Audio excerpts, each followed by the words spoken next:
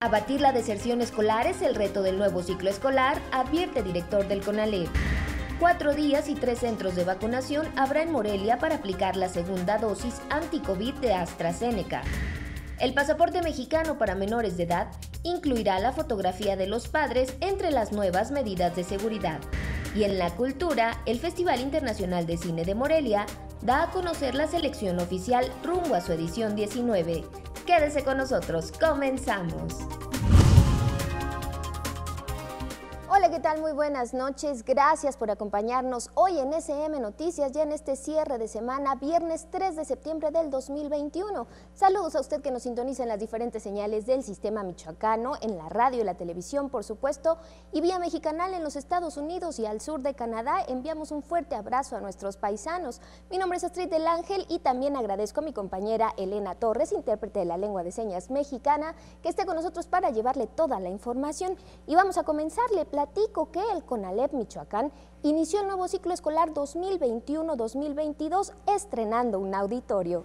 Los detalles. Autoridades educativas del Estado y de la Federación inauguraron el auditorio de la Dirección General del CONALEP Michoacán.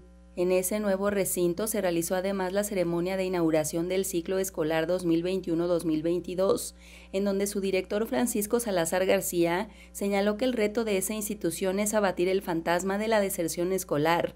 Hace un año el fantasma era del 30%. En Conalep, Michoacán, tuvimos una deserción del 15%. 5% arriba, arriba de lo que teníamos programado, lo que estábamos acostumbrados.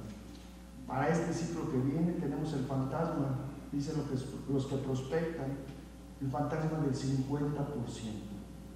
Quiere decir que corremos un gran riesgo de que no podamos cumplir con el compromiso de que las alumnas y los alumnos se queden en la escuela. Mas, sin embargo, estamos seguros en Conalé Michoacán, yo creo que más allá, amigo Gaspar, también en todos los subsistemas, de que vamos a batir este fantasma para lograr que las y los jóvenes no tomen rumbos equivocados por causa de esta pandemia. Por su parte, el coordinador de Planeación y Evaluación Educativa de la Secretaría de Educación, Iván Barrales Alcántar, puntualizó que hoy los niños y jóvenes enfrentan una nueva forma de aprender con distintas herramientas derivado de la pandemia. Cada inicio de ciclo escolar sabemos bien que es un nuevo reto y es ahora cuando el trabajo colaborativo entre sociedad y gobierno exige aportar lo que cada uno sabe, mejorar día con día los métodos, efectuar una práctica docente flexible y retomar, esto es muy importante, retomar el camino de la actualización y de la capacitación docente acorde a los requerimientos que ahora nos exige la nueva sociedad del conocimiento. En tanto, Eder Cantero Moreno, alumno de esa institución educativa, señaló que a pesar del panorama de incertidumbre que se vive debido a la pandemia, los jóvenes no deben perder las ganas de llegar a nuevos horizontes. La cosa es que esto nos ha llevado a buscar diferentes alternativas para lograr diferentes cosas y llevarnos a nuevos horizontes. Esta no será la primera ni la única vez, compañeros, en la que la vida nos sacará de nuestra zona de confort. Y gracias a esto podremos llegar a grandes cosas expandiendo nuestros horizontes. Actualmente el CONALEP cuenta con 13 planteles ubicados en 12 municipios de la entidad, los cuales albergan a casi 11.000 alumnos. Para SM Noticias, Juan Carlos Contreras y Leticia Ruano. Pues una gran felicitación a todos los y las estudiantes, los niños, los jóvenes que durante esta semana han regresado a las clases ya sea de manera virtual o presencial. Un reconocimiento también a los profesores que están muy de cerca y a los padres de familia que bueno se han tenido que sumar a esta importante labor del conocimiento. Vamos a nuestra primera pausa y regresamos con más a SM Noticias.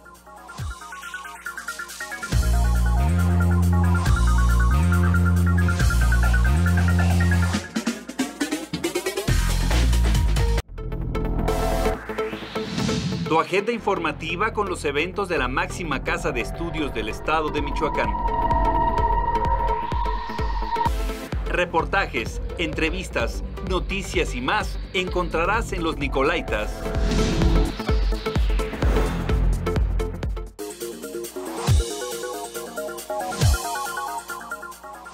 Gracias por continuar con nosotros y lo hemos dicho y lo vamos a repetir las veces que sea necesario.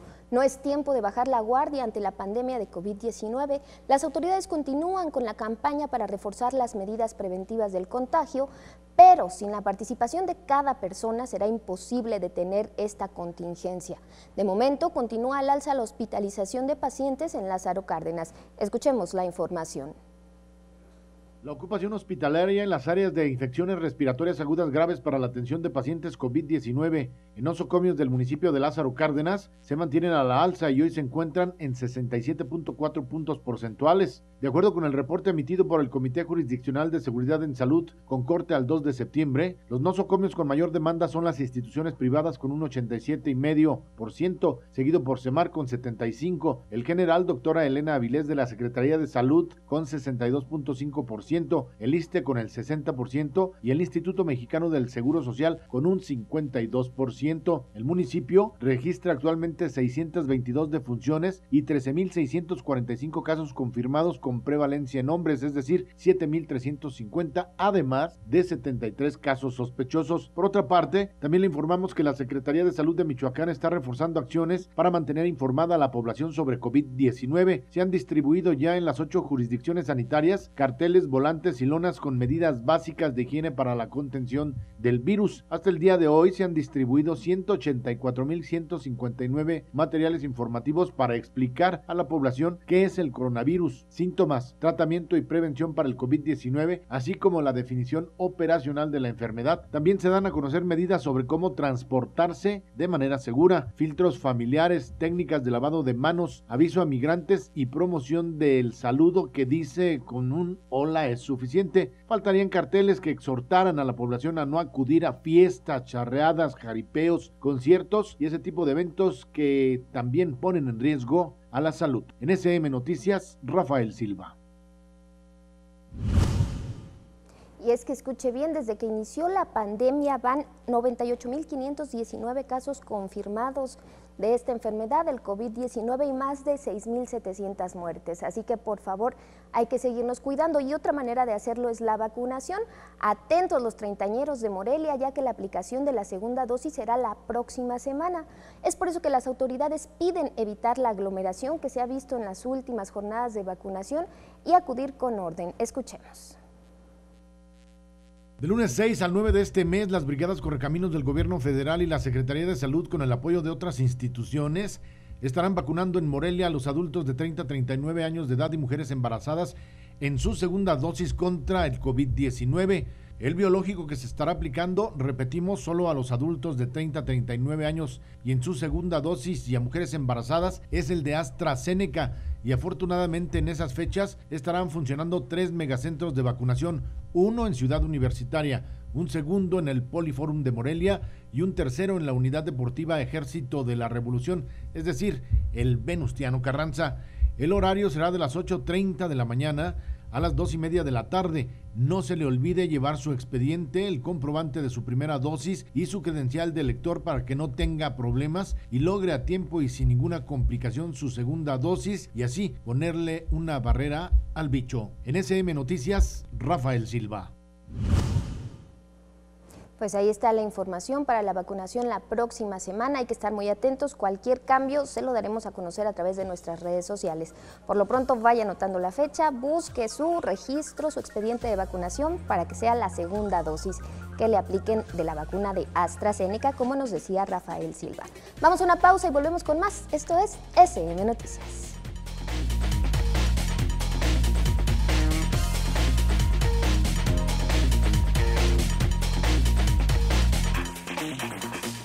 Disfruta de nuestros contenidos en cualquier parte de Michoacán, México y el mundo desde nuestra página web. Ingresa a www.sistemamichoacano.tv diagonal TV y ahí encontrarás una ventana a la cultura, música, deportes y noticias. Todo desde tu teléfono inteligente, tableta y computadora. SM Televisión va contigo a cualquier lugar a través de Internet.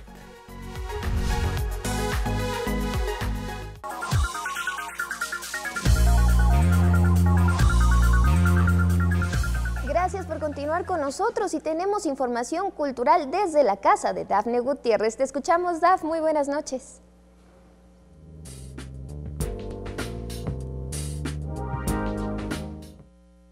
Hola Astrid, ¿qué tal? Muy buenas noches. Así es, damos la bienvenida al bloque cultural de SM Noticias.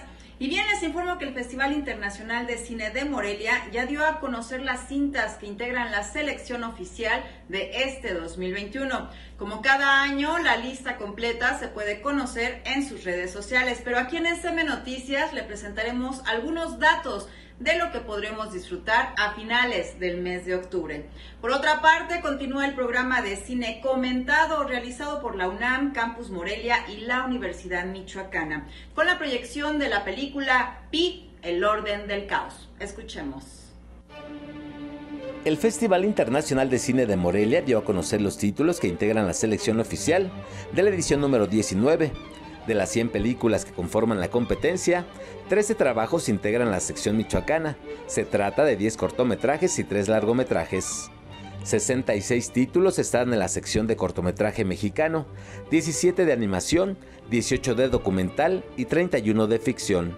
11 títulos conforman la sección de documental mexicano y 10 títulos en la sección de largometraje mexicano. Es así que el festival cumplirá 19 años de ser una plataforma única para la promoción de los realizadores de nuestro país. Sus secciones en competencia permanecen como cimiento del festival, ya que la misión es impulsar nuevos talentos mexicanos, cuyas obras puedan cruzar fronteras culturales y estéticas, destacaron los organizadores en un mensaje a la prensa. El festival, que se realizará del 27 de octubre al 1 de noviembre, Tendrá modalidad híbrida con funciones presenciales en la ciudad de Morelia y funciones virtuales a través de diversos canales.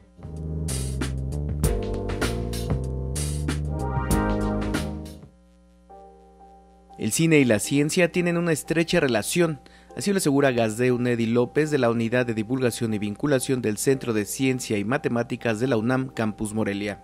El cine es una muestra de arte, es una expresión artística que tiene muchísimas, aparte puede llegar a mucha gente, tiene una gran historia.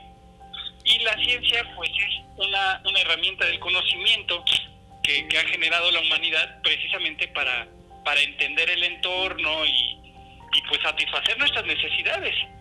Entonces cuando se conjugan, eh, de alguna manera eh, queremos ver cuándo es fiel esa conjugación, cuándo no, cuando se tergiversan cosas, cuando hay problemas ahí. En este mismo marco, en el programa de ciencia en el cine se proyectará el próximo lunes la película Pi, el orden del caos. El próximo lunes tenemos la, la mesa de conversación sobre la película Pi, el orden del caos, de Darren Aronofsky. Y bueno, la, la, la, idea es que previamente la gente pueda ver la película. Y a este programa se une una importante marca de salas de cine de Morelia. Nueva dinámica, donde la gente eh, se puede meter a la página de Facebook de ciclo el Ciencia en el Séptimo Arte. Ahí eh, van a poder encontrar una liga precisamente para que puedan conseguir folios, digamos que son boletos gratis para que puedan meterse después a Cinepolis Click, puedan ver la película con ese folio boleto y después los esperamos el día lunes a las 7 de la noche para que platiquemos sobre lo bueno, lo malo y lo peor de la película. Ciencia en el Séptimo Arte es un programa que inició desde el 2008 y en la actualidad se realiza de manera virtual con la presencia de expertos en ciencia y cine que lunes a lunes comentan aportaciones en torno a las películas que se proyectan. Así que ya lo sabe, la cita es el próximo lunes a las 7 de la tarde en la página de Facebook Cine Comentado, en donde también podrá consultar la cartelera de las próximas proyecciones. Jorge Moradías de León, SM Noticias. We thought were impossible. This is insanity, Max. Or maybe it's genius. And unleash an evil we never expected. You are only a vessel from our God. Bien, así llegamos al final de la cultura. Cuídese, no salga si no es necesario y le deseo que tenga excelente fin de semana. Regreso contigo, Astrid, para todos. Muy buenas noches. Muchísimas gracias, Dafne Gutiérrez. Un saludo para ti también. Excelente fin de semana. Aquí nos vemos la próxima, que tengamos oportunidad de comentar lo que pasa en la cultura michoacana. Vamos a una nueva pausa y regresamos con la información deportiva. Quédese con nosotros.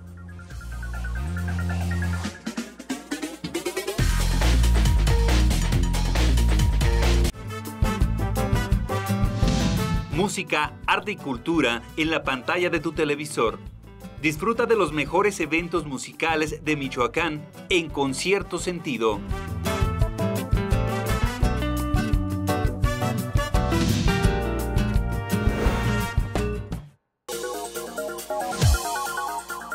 Continuamos con más información michoacana y de Allende las Fronteras. Es así que nuestros compañeros de deportes nos tienen la siguiente información.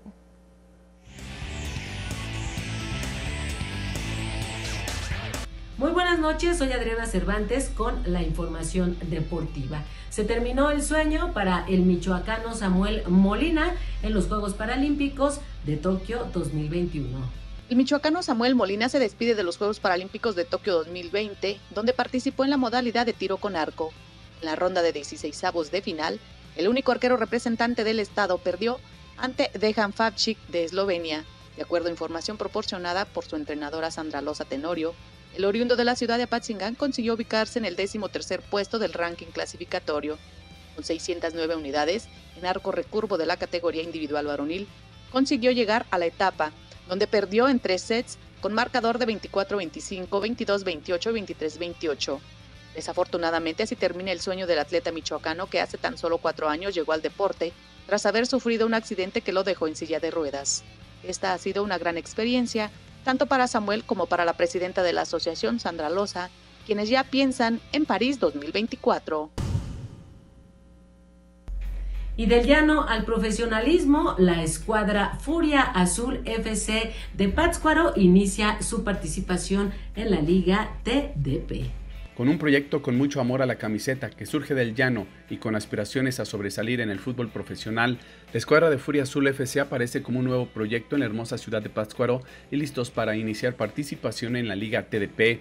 Marco Antonio Villicaña, presidente del equipo, comentó que el conjunto se encuentra mucho mejor luego de su partido ante Aguacateros de Peribán, escuadra que trae jugadores de alto nivel para buscar el ascenso y les lograron ganar de visitantes 3 por 2. De hecho, todos los jugadores que traemos aquí son del llano, todos más los que vienen de fuera son como un 20% que vienen de fuera. Eh, el equipo que traigo eh, está algo fuerte en cuanto, de hecho, he visto jugadores de aquí de la Liga Municipal y dicen, no manches, siento que vamos a competir bien y va a estar buena la competencia entre todos los equipos. Eso es lo bueno para el fútbol.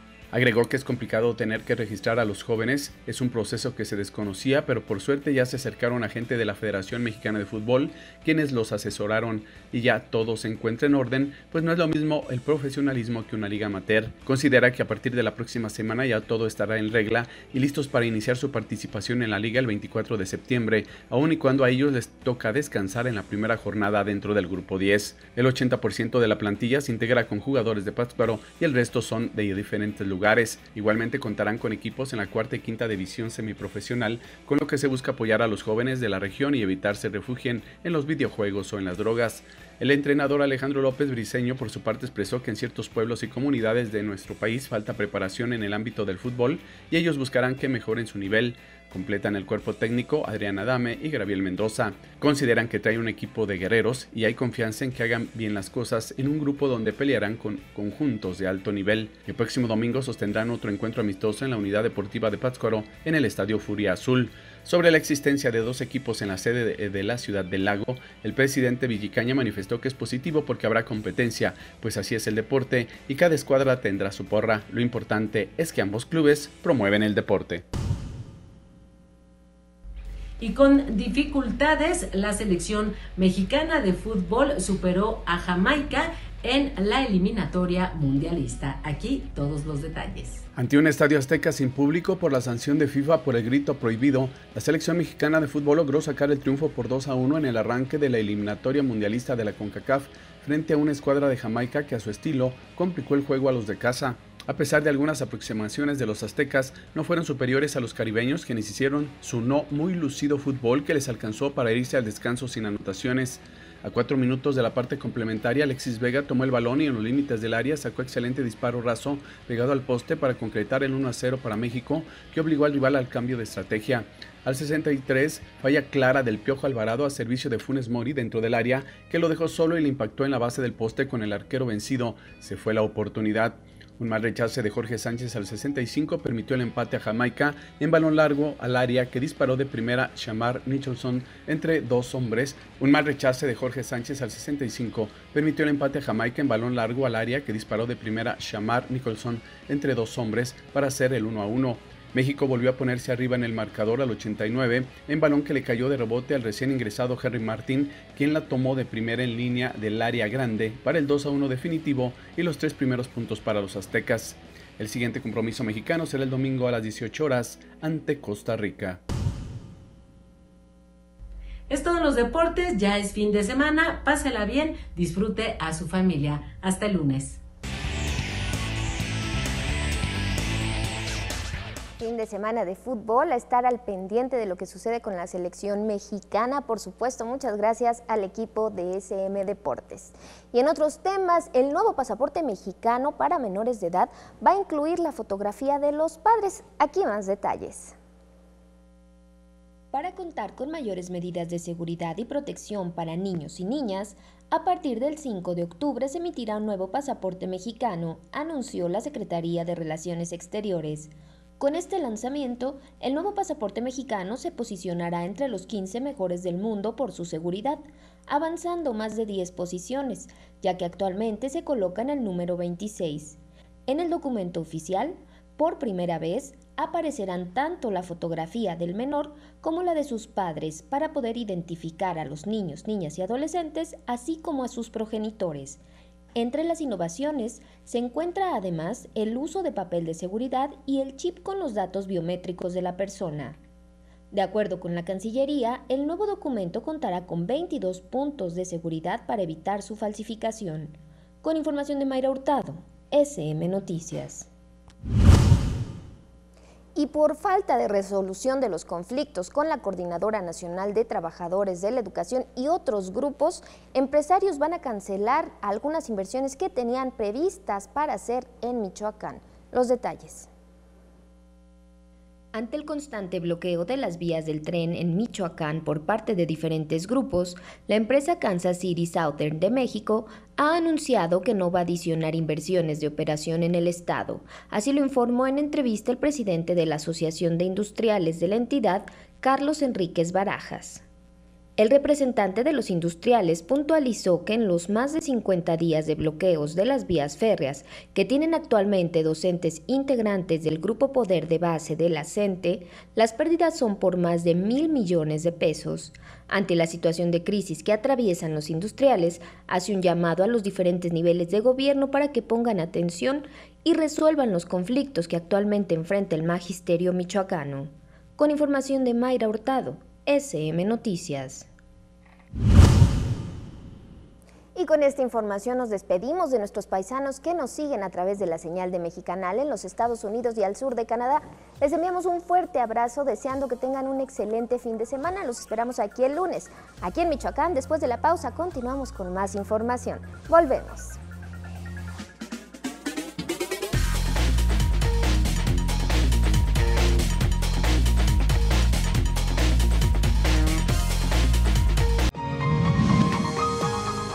Continúa con nosotros.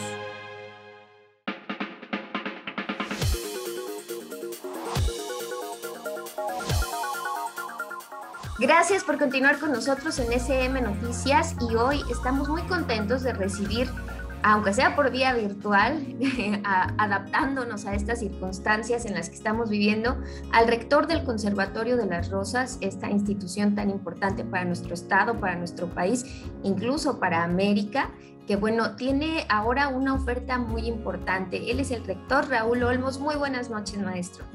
Buenas noches, gracias por la oportunidad que nos brindan para promocionar eh, la oferta musical en línea del Conservatorio de las Rosas. Eh, agradezco mucho esta oportunidad. Un saludo para todos los que están viéndonos en este momento. Muchas gracias a usted también por siempre traernos estas buenas noticias tan necesarias en estos momentos que seguimos todavía eh, pues batallando, ¿no? Con ciertas cosas desconocidas, pero que bueno, tenemos también estas alternativas para eh, alimentarnos espiritualmente, emocionalmente. Maestro, platíquenos, esta oferta es diversa y va a ser en línea también para que más personas puedan acceder a ella. Así es, eh, quiero comentarte que el Conservatorio de las Rosas eh, está fortaleciendo la oferta en línea, la educación continua en línea. Prácticamente tenemos eh, más de año y medio ofreciendo diferentes actividades, conciertos, charlas, clases magistrales, intercambios culturales. Y una parte importante ha sido los talleres diplomados, donde la gente puede tener contacto con diferentes temáticas de la educación musical. Estas temáticas son diversas. En este momento estamos ofreciendo nueve talleres y diplomados que van a iniciar en el próximo mes de octubre. Por ejemplo, tenemos dirección orquestal, que va a ser eh, Academia Iberoamericana de Dirección Orquestal, con maestros de México, Venezuela, España, eh, eh, coordinado por el maestro Miguel Salmón del Real. Vamos a tener pedagogía musical para docentes, donde lo imparte el maestro Joseph Fradera, eh, egresado de la Universidad de Barcelona. Esta pedagogía musical es para dar todas las herramientas a la gente que tiene contacto con los grupos eh, de educación musical en las escuelas y que recibirá elementos, información para fortalecer sus conocimientos. Tenemos un taller internacional de composición que coordina el maestro Ignacio Martínez Madrigal. Este taller de composición eh, sí se requiere que los alumnos tengan conocimiento, eh, que tengan educación musical, porque en la composición que van a hacer durante los cuatro talleres son cuatro módulos, donde tendremos también eh, maestros de Chile, de Argentina, de Brasil, de Cuba y por supuesto del Conservatorio de las Rosas, van a abordar temas ya muy específicos para conocedores de la música, para estudiantes de licenciatura eh, obviamente puede haber gente que le interese estar como oyente y tendrán acceso.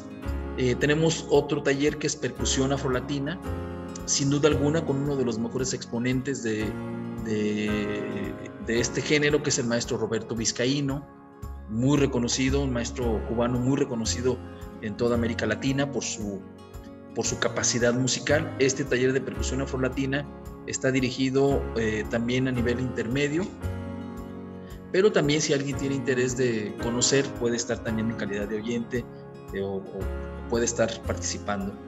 Tenemos uno especial para, para los jóvenes, para la gente que, que está experimentando con la parte tecnológica y diferentes efectos que la música puede lograr eh, en combinación con las imágenes. Este es musicalización para cine. Es un diplomado que va a durar ocho meses, eh, todos los, una vez por semana, y en esta musicalización para cine se les va a dar no solamente elementos musicales, conocimientos, eh, sino también van a poder experimentar la parte de la producción musical. Eh, al final podrán ellos musicalizar un pequeño cortometraje, podrán, hacer producción, conocimientos técnicos acerca de lo que implica esta, eh, esta especialidad. Cabe mencionar que este lo estará ofreciendo el maestro Fabián Galeana, que es un egresado de la Escuela de Filme de Vancouver. De hecho, dada la posibilidad de la tecnología, él lo está impartiendo desde allá. Es una maravilla que podamos estar conectados simultáneamente y, eso aprovecho para comentar que este proyecto de educación continua se ha potencializado tanto que hemos tenido en el ciclo pasado más de 110 alumnos inscritos en los diferentes talleres y tuvimos eh, gente de todo México, gente que se conectó y participó de España, de Argentina, de Colombia, de Ecuador. Es una cosa impresionante la potencialidad de la parte tecnológica y eso creo que tenemos que aprovecharlo porque desde la comodidad del, del estudio, de, del hogar, de algún salón de clase, de algún salón específico, la gente puede tener acceso pues a través de, de, la, eh, de la plataforma digital del conservatorio que se ha ido perfeccionando. Tenemos otro que es psicología de la música. Este, este diplomado de psicología de la música también va a durar eh, ocho meses y en este caso está en coordinación con la Asociación Mexicana de Psicología de la Música, que la presidenta de esta asociación es la psicóloga del Conservatorio de las Rosas. Entonces tiene invitados también eh, varios maestros de la Asociación eh, de Psicología, gente de España, de México. Entonces es algo también muy interesante y está encausado a analizar, aprender los efectos de la música a nivel emocional, a nivel psicológico. Tenemos uno especial que estamos abriendo, es la primera edición, edición digital de partituras. Ahora con esta parte precisamente de, los avances tecnológicos, las plataformas, vamos a, ofrecer que los eh, compositores, los músicos puedan dominar y conocer más los elementos importantes de edición digital de partituras. Los programas como Finale o como Sibelius que utilizan los, eh, compositores o los músicos eh, podrán iniciar, la gente que quiera hacer sus partituras digitales, podrán recibir elementos técnicos, eh, para que lo puedan hacer. Apreciación musical es otro, otro de los eh, importantes eh, talleres. Este taller va a durar solamente hasta, ah, hasta el mes de diciembre, pero aquí se trata de que la gente disfrute la música y con un maestro le puedan enseñar lo que es una sinfonía, quiénes son los grandes compositores, Beethoven, Mozart, Bach, Vivaldi, las cosas más elementales de apreciación musical. Ese es para todo público. Y finalmente tenemos musicoterapia, que ya es el tercer diplomado que, se va a ofrecer, que ha tenido mucho éxito, ya es parte permanente de esta oferta en línea. Aparte de las 19 licenciaturas que tenemos eh, como institución, este es un programa especial con nueve talleres y diplomados, musicoterapia para aprender los elementos más importantes que, eh, de la aplicación de la música en aspectos educativos, en aspectos sociales, en aspectos incluso eh, ya con mucha profundidad lo pueden aplicar a, partes de, de, carácter clínico, pero básicamente ahorita sería el entorno social y el entorno eh, educativo de la musicoterapia. Todos estos talleres inician a partir de la primera semana de octubre. Tenemos todo el mes de septiembre para que la gente pueda inscribirse. ¿Dónde hay que comunicarse, maestro? ¿Algún teléfono, algún correo que nos pueda compartir? Eh, pueden eh, hablar directamente al 312-1469, les darán información de todos los talleres, o bien pueden entrar a nuestra página de internet www.conservatoriodelasrosas.edu.mx. Eh, también si lo prefieren pueden enviar un correo electrónico cecilia.arevalo arroba.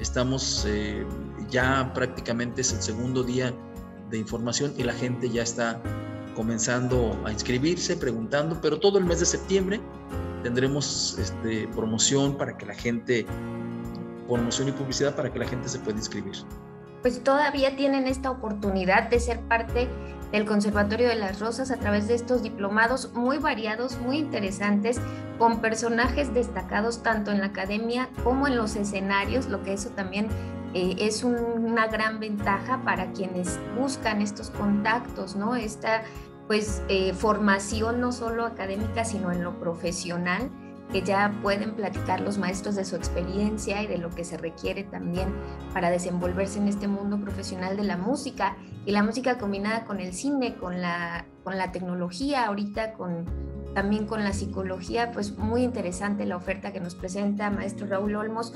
Pues ha llegado el momento de despedirnos, pero eh, reitérenos por favor la invitación a integrarse a estos diplomados. Un último mensaje. Quedan todos invitados a entrar en el maravilloso mundo de la música a través de esta oferta del Conservatorio de las Rosas. Y también a partir de la próxima semana los invitamos a que estén en contacto con nuestra, nuestra temporada de conciertos que es totalmente gratuita.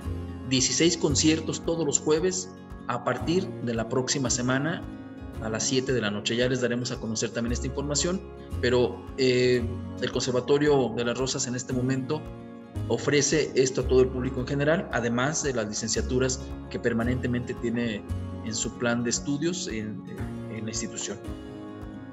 Muchísimas gracias, maestro.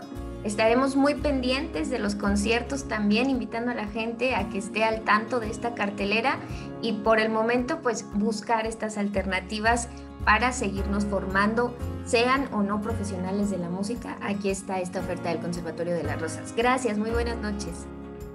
Gracias a ustedes, un abrazo para todos, cuídense mucho. Gracias. Y seguimos con más en SM Noticias. Continuamos.